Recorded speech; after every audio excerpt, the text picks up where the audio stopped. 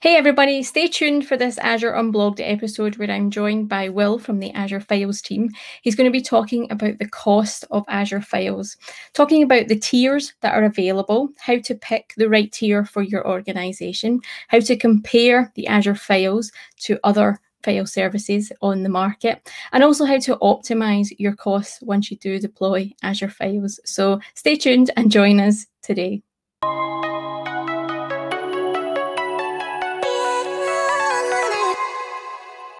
Hey everybody and welcome to today's edition of the Azure Unblogged video. Um, my name is Sarah and I'm joined by Will from the Azure File team. Will, welcome to the show today. Thanks for having me. Now, you've been on the show before and you were talking to my colleague Thomas about how to use Azure Files and File Sync to extend some of your capabilities of your file server from on-prem up into the cloud and back down. Today, we're trying to change the conversation a little. So, we're not necessarily talking about the technology. We want to talk about the cost and what that means to an organization. So, could you start the scene off by telling us how you actually cost up or how it's priced um, for our customers? Yeah. So, you know, Azure Files and File Sync really help you transform your your organization's file storage. But I think the very next question is okay, great. I have all these cool capabilities what do I got to pay for it? Yep. Um, and so we do have uh, multiple tiers of storage that you can choose from. Um, so let me share my screen here. And uh, I have on my screen the, the pricing that we have for Azure Files. So we have four tiers of storage available, premium, transaction optimized, hot, and cool. And um, these four tiers basically give you different performance and price ratios that you can work through. So I'll point out that the premium tier is on SSD storage. And then the other tiers, transaction optimized, hot and cool, are on hard disk storage. Um, so you won't notice uh, that much of a performance difference between those tiers. Um, those tiers are primarily differentiated based on sort of the, the data storage to uh, transaction ratio that you get. Um, with respect to premium, uh, this is really for cloud native workloads. Like I want to host a database or I've got a line of business application, or even I just have a bunch of end user data that I really want the lowest latency, highest performance uh, type of storage. Um, so it's not as good of a target if you're using file sync. And then the other three tiers, which are hard disk based, are awesome for file sync and also uh, you know really targeted towards the what we would call general purpose file share scenario. Um, so we have uh, a couple of new uh, bubbles on the screen there. So we have lowered the price of premium since I think October 2020. Um, and then we have also newly launched the hot and cool tiers to give the additional price points that I, I mentioned. So th- those all sound amazing, and and looking at some of the prices, the prices look good as well. If I was an organisation though thinking about deploying this technology, how would I choose the right tier for my organisation? Well, and if I found out halfway through my deployment that I'd actually picked the wrong tier, it didn't meet my performance needs or even cost needs, could I change it afterwards? What's the scenario there? Yeah, so this this can be kind of tricky up front. So uh, let me uh, share my screen again and I will show the Azure portal. So uh, when I create a storage account, one of the options that I have is the performance of the storage account. So I have a standard and a premium button or radio button. So what this does is it gives me the choice of whether my storage account and, and all of its data is going to be on the so-called standard hardware, which is HDD based, or the premium hardware, which is SSD based. And so um, when I make this decision, all of my data within that particular storage account will end up being in that in that tier. Um, so if I choose premium, for example, I would pick the file storage storage account type. And I've actually already gone and deployed a, a, uh, a, a premium storage account here. And so I would go forward and um, then create a file share and once I've created this share, it's a premium file share. Uh, it's in a premium storage account. It's on SSD hardware. Um, I can go in, I can change the provision capacity. So we, you may not have noticed in the previous slide, but we have um, sort of a slightly different business model for premium where you are actually asking for how much storage you want and then paying for that. Um, the, the you know provisioning, uh, as you can see here, provisioning an additional gigabyte of storage gives you additional IO and, and, and so on. So I can change this provisioning after I've created the share, but the share is a premium file share. Okay. Um, I also went ahead and pre-created a standard storage account. Um, so this is a general purpose version two, you know, locally redundant storage. Um, so I have the new file share button, just like I did before. And you can see that I can create a share on whatever tier I want. So if I just say, and then say hot, oops, I put a space in, I will end up with a new share uh, in the hot tier. I can also go into my existing share and change the tier. So I can change this to whatever tier I want. You'll notice premium is grayed out. Um, mm-hmm. And that's just to signify it is an option that you can you can use. You can create premium file shares, but you can only switch between shares in the same storage account type. Okay. Okay. So, so there's a second part to your question I didn't get to, which is yep. how do I choose the best tier to be in?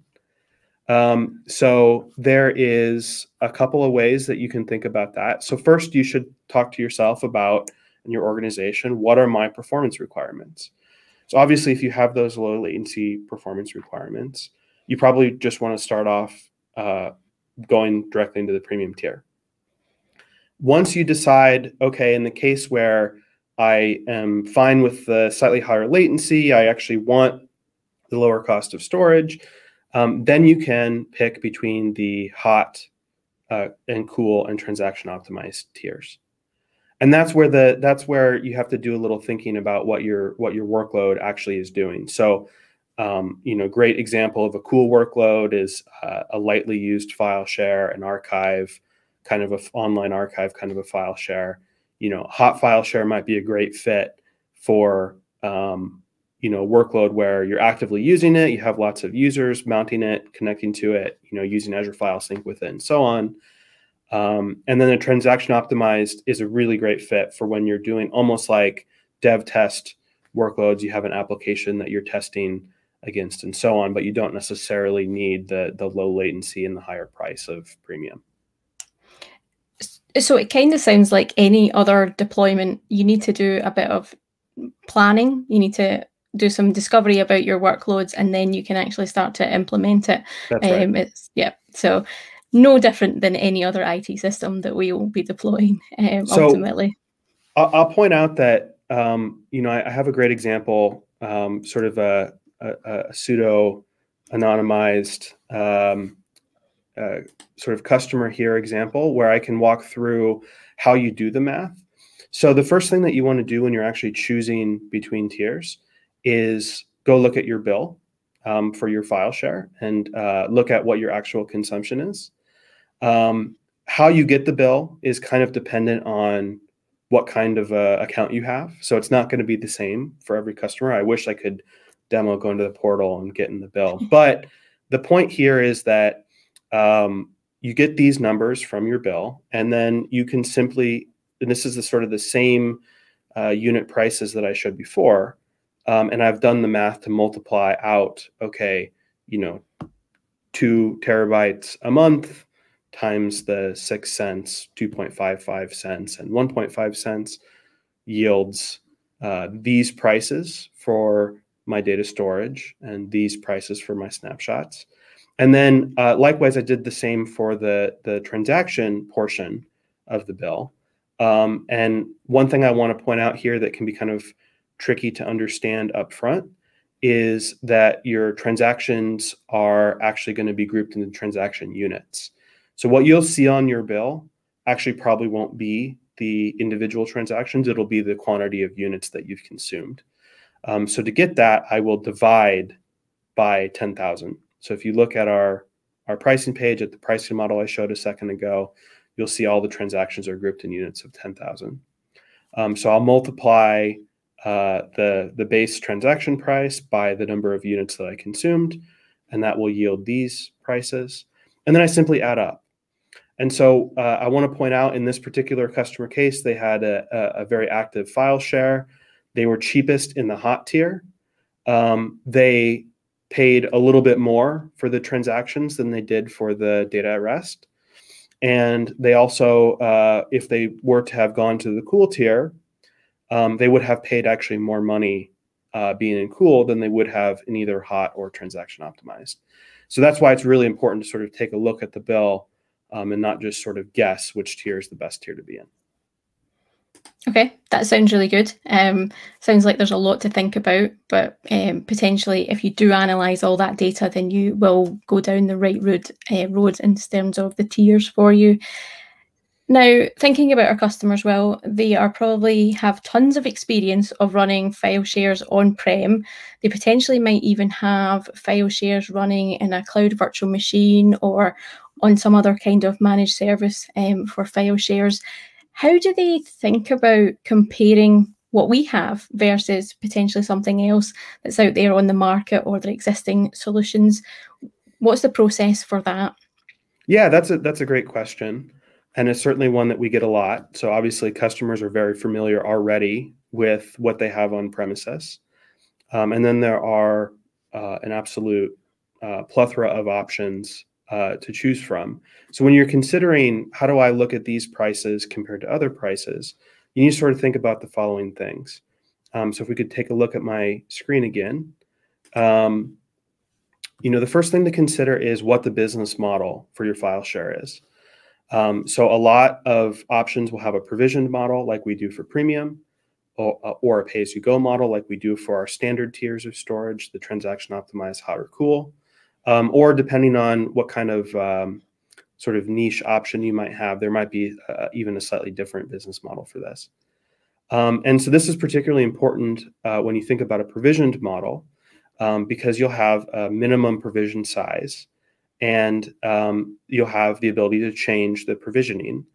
Um, and so when it comes to, uh, let's say, premium file shares, the Azure Files offer, you have a minimum provision size of 100 gigs and uh, you can change upwards as often as you want and change downwards as often as once per day.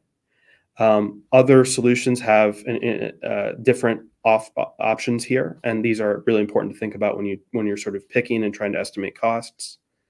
And additionally, when you think about um, running like a VM, running a file server, a, uh, file server in an Azure VM, or um, when you think about running a file server on premises, these would typically be in a place where you have to sort of think out ahead of time how much storage do I want for the next three years or five years, whatever your sort of model for for managing servers are, and then how much do I actually need to provision uh, to meet that amount. Um, and so then it becomes very difficult to change the provision size later, and there's an upfront cost associated with with sort of setting that up. Um, the next point to consider here is the resiliency and redundancy of the storage. So with Azure Files, whether you choose premium or standard, um, or you choose um, our locally redundant storage, zone redundant storage, or geo redundant storage, we're giving you the resiliency and redundancy as part of the service offer. Um, so what that means is, is that uh, we have multiple nodes that are capable of serving your requests. And if one of those nodes happens to go down because of you know hardware goes down or uh, SolarRay hits the server in the exact right way and it's not online anymore, your data is still available um, and able to be used. Um, and you also have the flexibility to choose higher redundancy options if you so choose. Versus if you were to run a file server or um, depending on, on sort of what the other offers are, you might have to think about, okay, to have the, that kind of resiliency, I need to run two or three or four uh, VMs. I need to attach storage to them. I need to assemble a storage pool between them, and all of those things add cost. So you can't just look at the the base price of a disk, let's say, and say, okay, that's how much it's going to cost me to run a server. You have to think about these resiliency and redundancy costs as well. The next big point that you have to think about here is the maintenance costs. Like, what do you have to actually manage? And so this is really clear when we're talking about on-premises storage. You know, you have to manage physical servers at some point, and electricity and hardware maintenance and all of these things. Running in a VM takes some of those away from you. You don't have to manage the hardware anymore. But you still have to think about the OS and is it updated and you know what's the state of my various features of the OS and so on.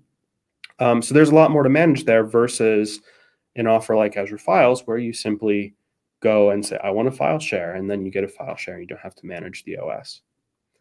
And then another key point here to think about is the backup costs. So, what are the backup rates um, for the service that I'm using? Particularly if I'm using uh, an on premises product, I might have to pay a licensing cost and then additional costs for backup storage. And then, like, how does the backup actually work? Is it taking a full copy of the backup? Is it taking a first time full copy of the backup and then incremental from there? And so when we think about Azure Files, the way Azure Files works with Azure Backup is that you'll pay, you know, a nominal fee for the cost of storage. Uh, sorry, a nominal fee for the cost of the backup service, and then um, a differential cost for the uh, the backups themselves, which are which are snapshots on the file share.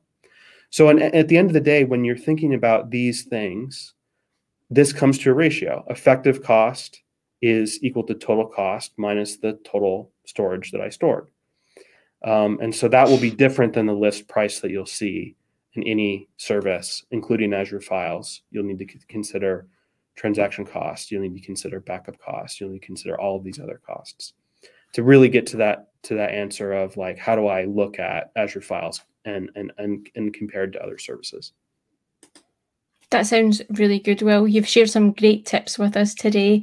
Um, well, I've got you. Um, what other advice would you share with our customers to really try and optimize their costs for Azure Files? Absolutely. Um, so, uh, the first thing I want to point out here is that migrations um, will use transactions. And so, if you're migrating into the standard storage tiers, um, really what you want to do is start with that transaction optimized tier where the transactions are the lowest price. And then later, when you're ready, and after you've had a chance to look at the bill, you can switch to the hot and cool tiers to save additional money.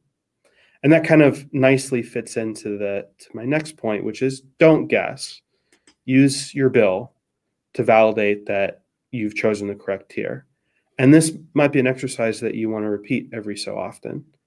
Um, I will point out that um, sometimes, as the example I showed, the cooler tiers can be hotter than the, um, or sorry, can be more expensive than the hotter tiers. Um, you also may end up with the sort of straightforward situation. Um, I think probably a, a, lot of customers fall into this situation where cool is the absolute cheapest tier and then sort of straightforward how to pick. The other thing I want to point out, and this can kind of come uh, in a um, to some customers, it can be it, it, doesn't make sense when they look at their bill and they're not understanding it. Uh, we've certain certainly heard from customers uh, this feedback is that for the cooler storage tiers, that the transactions might actually be a greater expense than the data at rest costs. So um, ultimately, what matters is not the ratio between the data storage and the transaction costs, is actually what's the cheapest at the end of the day. So in a cool scenario, you might expect the, the cost to be driven by transactions, but as long as it's cheaper than being in hot or transaction optimized, you're golden. Um, another point that's really important to think about here is that you really should only be switching tiers of storage when your usage patterns have changed. So for example, you've done the migration and now you've gone to your normal usage pattern. Uh, or as another example, you know you had an active project that was using a file share and uh, now you want to actually switch um, to having it be an archive thing that you occasionally will access those files um, but you won't frequently access those files. Um, so the reason this is important is because actually switching tiers costs money. It's not a free thing to do and I, I, I had a customer that sort of came to me recently that said hey can i switch the tier for December when all my users are are on holiday uh, for Christmas, and um, then switch back in January when they're back in the office or back online. And I think in general that would um, the savings that you would get would tend not to, uh, you know, make sense when you think of the uh, the tier switches.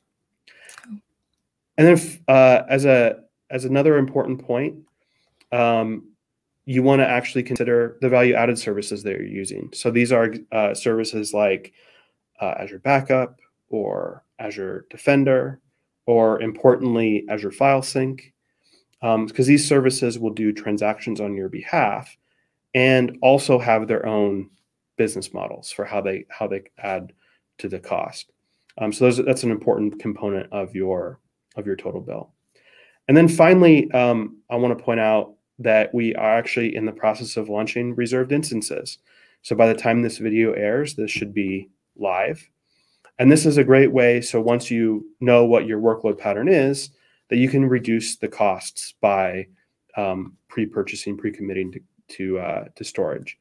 So we'll offer um, two reserve instance uh, types. We'll offer the 10 terabyte and 100 terabyte levels. Um, and then we'll offer two reserve terms, one year and three year. Um, and so you can sort of mix and match these combinations. This, these will be available for all the redundancy levels that Azure Files supports. And uh, this is a great way to, to lower the total cost of your storage. Now, I do want to point out um, we're launching with Hot and Cool. And in subsequent releases, we'll have support for our premium and transaction optimized tiers. So we haven't forgotten about those. Um, it's just really sort of a staging thing with how we how we get these out.